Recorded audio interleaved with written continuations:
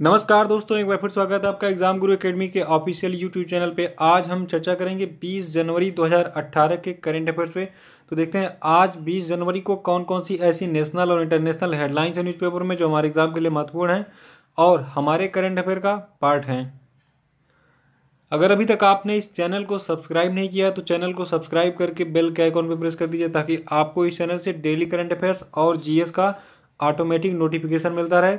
और वीडियो को देखने के बाद इसको लाइक कर दीजिए और लाइक करने के बाद इसको शेयर भी कर दीजिए ताकि और लोग भी इस करेंट अफेयर सेशन को देख के इससे लाभान्वित हो सके। तो स्टार्ट करते हैं पहले पॉइंट से। पहला पॉइंट है ऑस्ट्रेलिया ग्रुप यानी कि एजी तो आइए जानते हैं एजी क्या है और इससे संबंधित क्या न्यूज़ है और किस प्रकार के प्रश्न यहाँ से एग्ज़ाम में पूछे जाएँगे।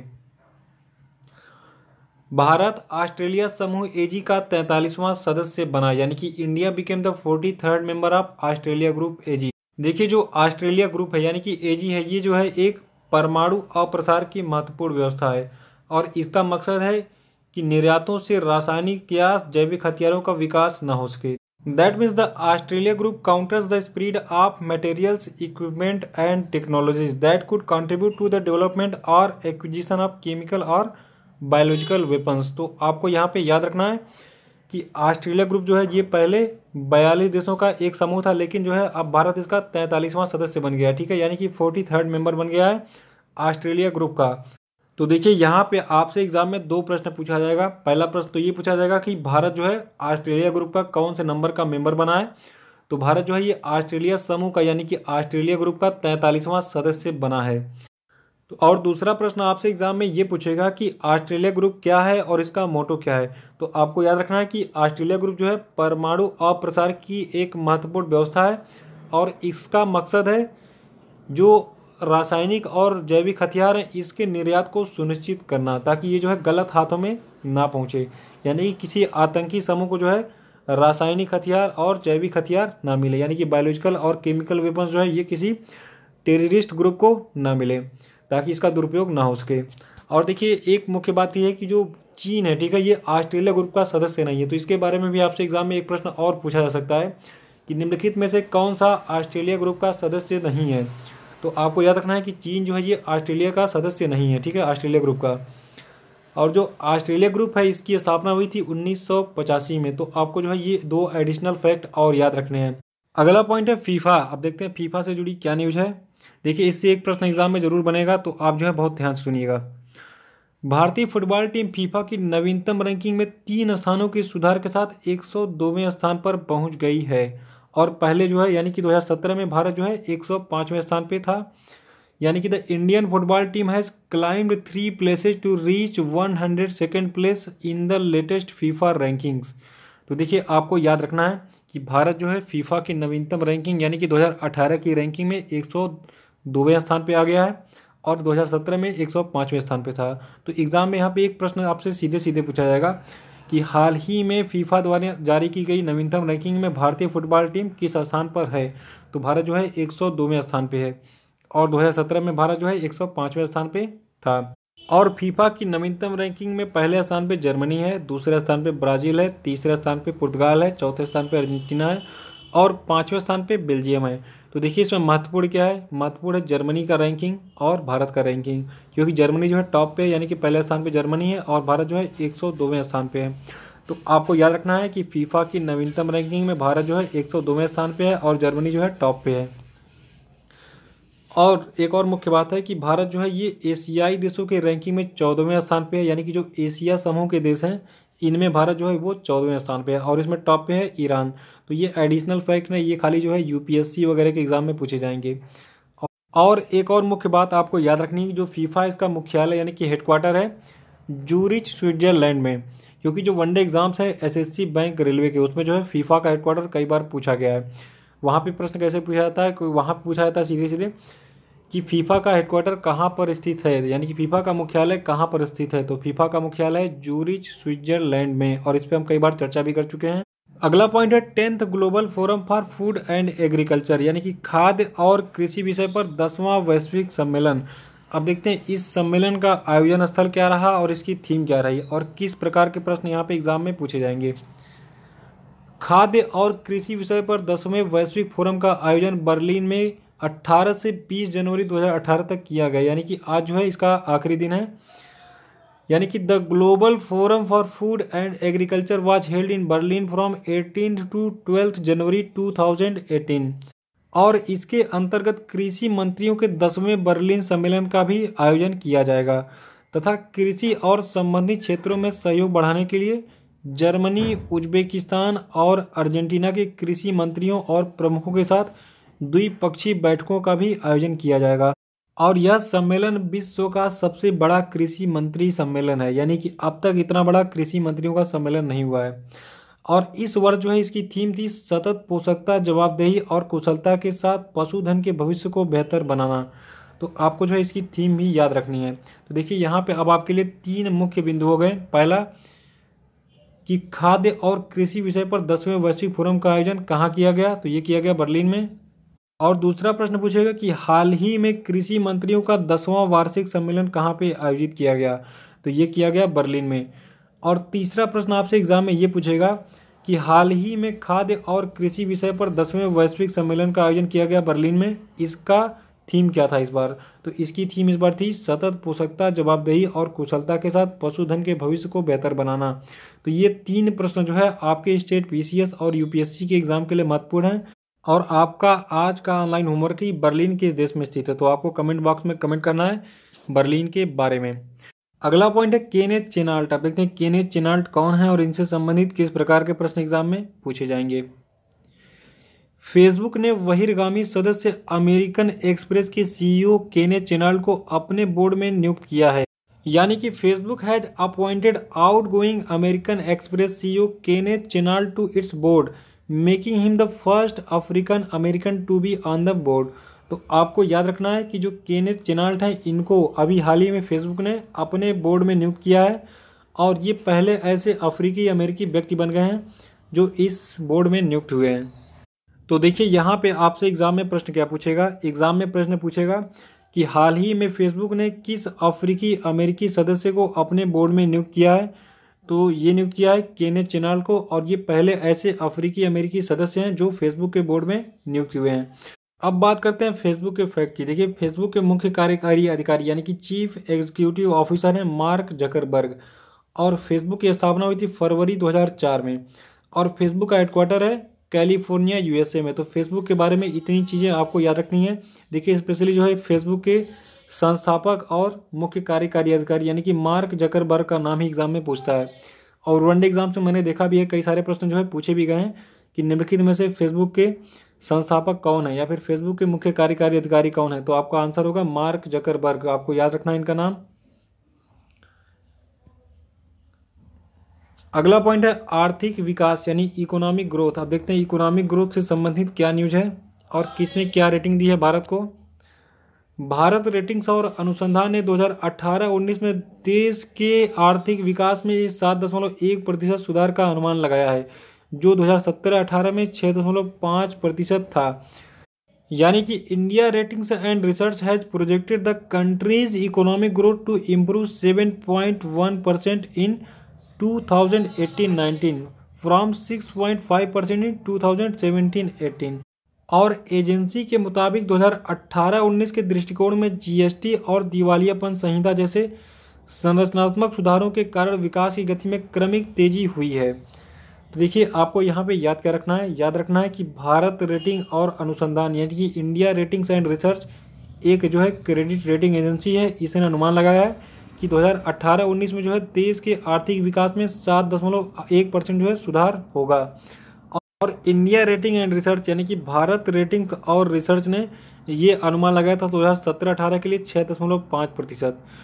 अब बात करते हैं भारत रेटिंग्स और अनुसंधान के बारे में। देखिए, जो इंडिया रेटिंग एंड रिसर्च है, ये फिंच रेटिंग की एक सहायक कंपनी है और फिंच रेटिंग जो है ये एक अमेरिकन कंपनी है।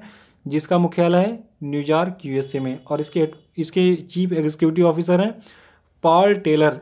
तो आपको इतनी चीज़ें याद रखनी है इंडिया रेटिंग के बारे में कि ये जो है फिंच रेटिंग की एक सहायक कंपनी है और इसका हेडक्वार्टर न्यूयॉर्क में है और इसके चीफ एग्जीक्यूटिव ऑफिसर हैं पॉल टेलर। तो आपसे एग्ज़ाम में यहाँ पे एक प्रश्न पूछ सकता है कि भारत रेटिंग्स और अनुसंधान ने 2018-19 में देश के आर्थिक विकास में कितने प्रतिशत के सुधार का अनुमान लगाया है? तो आपको याद रखना है कि सात दशमलव एक प्रतिशत के सुधार का अनुमान लगाया है भारत रेटिंग्स और अनुसंधान, यानी कि इंडिया रेटिंग एंड रिसर्च ने। अगला पॉइंट है निर्मला सीतारमण। देखते हैं ये चर्चा में क्यों है? देखिए, जो निर्मला सीतारमण है, इनके बारे में सबसे मुख्य बात क्या है कि ये जो है भारत की पहली महिला रक्षा मंत्री हैं, ठीक है? और ये जो है सुखोई थर्टी एम के आई लड़ाकू विमान में उड़ान भरने वाली देश की पहली रक्षा मंत्री भी बन गई हैं। तो यहाँ पे आपको दो पॉइंट मिले। पहला कि निर्मला सीतारमण जो है, ये देश की पहली महिला रक्षा मंत्री हैं और अभी हाल ही में इन्होंने सुखोई थर्टी एम के आई लड़ाकू विमान में उड़ान भरी है और इसी के साथ जो है, ये देश की पहली ऐसी रक्षा मंत्री बन गई हैं, जिन्होंने सुखोई थर्टी एम के आई लड़ाकू विमान में उड़ान भरी है। अब देखिए, कुछ एडिशनल फैक्ट हैं। देखिए, इससे पहले जो है 25 नवंबर 2009 में तीनों सेनाओं की प्रमुख कमांडर के तौर पर जो है, पूर्व राष्ट्रपति प्रतिभा पाटिल पुणे में सुखोई में उड़ान भर चुकी हैं। देखिए, यहाँ पे भी आपको एक पॉइंट मिला कि जो राष्ट्रपति होता है, वो तीनों सेनाओं का सुप्रीम कमांडर होता है। तो एक प्रश्न ये भी पूछा है एग्ज़ाम में, कि वनडे एग्ज़ाम्स में, कि जो देश की तीनों सेनाएँ हैं, जल, थल और वायु सेना इनका सुप्रीम कमांडर कौन होता है? तो वहाँ पे आपको जो है आंसर पे क्लिक करना है कि देश की तीनों सेनाओं का सुप्रीम कमांडर राष्ट्रपति होता है। अब बात करते हैं सुखोई थर्टी एम के आई लड़ाकू विमान की। देखिए, सुखोई थर्टी एम के आई जो है, एक अत्याधुनिक फाइटर जेट है जो परमाणु हमले में भी सक्षम है। और पिछले साल, यानी 2017 के अंत में जो है, सुखोई थर्टी एम के आई लड़ाकू विमान से ब्रह्मोस मिसाइल का परीक्षण किया गया था। और भारत ने एक रिकॉर्ड भी कायम किया था उसके साथ कि भारत जो है, दुनिया का पहला ऐसा देश बन गया था जिसके पास जल, थल और वायु तीनों से जो है लॉन्च करने वाली मिसाइल है। तो और एक मुख्य बात है कि जो निर्मला सीतारमण है, इन्होंने ये उड़ान भरी है जोधपुर एयरफोर्स बेस से। जोधपुर जो है, ये राजस्थान में है। तो आपको देखिए, यहाँ पे याद क्या क्या रखना है? पहले याद रखना है कि देश की पहली महिला रक्षा मंत्री हैं निर्मला सीतारमण, और ये पहले ऐसी रक्षा मंत्री बन गई हैं जिन्होंने सुखोई थर्टी एम लड़ाकू विमान से उड़ान भरी है। कि यहाँ पे कई सारे प्रश्न आपको मैंने बता दिए निर्मला सीतारमण से संबंधित और सुखोई थर्टी एम के आई विमान से संबंधित। तो आपको सारे के सारे फैक्ट याद रखने हैं। देखिए, मैक्सिमम संभावना क्या है कि यही पूछेगा कि भारत की पहली ऐसी रक्षा मंत्री कौन है जिन्होंने सुखोई थर्टी एम के लड़ाकू विमान से उड़ान भरी? तो यह है निर्मला सीतारमण। बाकी आप ये भी याद रखिएगा कि ये जो है भारत की पहली महिला रक्षा मंत्री हैं। अगला पॉइंट है आई क्रिएट सेंटर अब देखते हैं आई क्रिएट सेंटर क्या है और इससे संबंधित क्या प्रश्न एग्ज़ाम में पूछे जाएँगे। प्रधानमंत्री मोदी और इजराइल के प्रधानमंत्री बेंजामिन नेतान्यू ने गुजरात के अहमदाबाद के देव धोलेरा गाँव में आई क्रिएट सेंटर का उद्घाटन किया, यानी कि prime minister Narendra Modi and his Israeli counterpart Benjamin Netanyahu inaugurated the iCreate centre at Dev Dholera village in Ahmedabad Gujarat और इस आई क्रिएट सेंटर का लक्ष्य है भारत में ऐसे माहौल तंत्र को बनाना जिससे बड़ी संख्या में गुणवत्तापूर्ण उद्यमी पैदा हो। तो यहाँ पे आपसे एग्ज़ाम में एक प्रश्न पूछेगा कि हाल ही में भारत के प्रधानमंत्री मोदी और इसराइल के प्रधानमंत्री बेंजामिन नेतान्यू ने गुजरात के किस स्थान पर आई क्रिएट सेंटर का उद्घाटन किया? तो ये गुजरात के अहमदाबाद में किया है और अहमदाबाद के देव धोलेरा गाँव में, ठीक है? तो गुजरात के अहमदाबाद के देव धोलेरा गाँव में मोदी और इसराइल के प्रधानमंत्री बेंजामिन नेतान्याहू ने आई क्रिएट सेंटर का उद्घाटन किया है। अब थोड़ा सा आई क्रिएट सेंटर के बारे में जानते हैं। देखिए, जो आई क्रिएट सेंटर है, ये एक स्वतंत्र संस्था है, ठीक है? यानी कि एक स्वतंत्र संस्था है ये, जिसका उद्देश्य है उद्यमियों को क्रिएटिव इनोवेशन उत्पादन, डिज़ाइन और नए तकनीकी के ज़रिए खाद्य सुरक्षा, जल कनेक्टिविटी साइबर सिक्योरिटी आईटी और electronics non conventional energy biomedical equipment और डिवाइस आदि क्षेत्रों में मदद करना। यानी कि जो ये आई क्रिएट सेंटर है, ये स्किल प्रोवाइड करेगी उद्यमियों को ताकि वो जो है नए टेक्नोलॉजी के माध्यम से अपने उद्योग को जो है और आगे बढ़ा सकें। तो एक लाइन में आपको जो है आई क्रिएट के बारे में यही जानना है कि आई क्रिएट सेंटर जो है, ये उद्यमियों को स्किल प्रोवाइड करेगा विभिन्न क्षेत्रों में, जिससे वो जो है अपने बिज़नेस को और आगे बढ़ा सके। अगला पॉइंट है इलाहाबाद बैंक। अब देखते हैं इलाहाबाद बैंक क्यों चर्चा में है और इससे संबंधित क्या न्यूज़ है। इलाहाबाद बैंक कर्मचारी स्टॉक विकल्प योजना, यानी कि ईएसओपी पेश करने वाला पहला सरकारी बैंक बन गया है।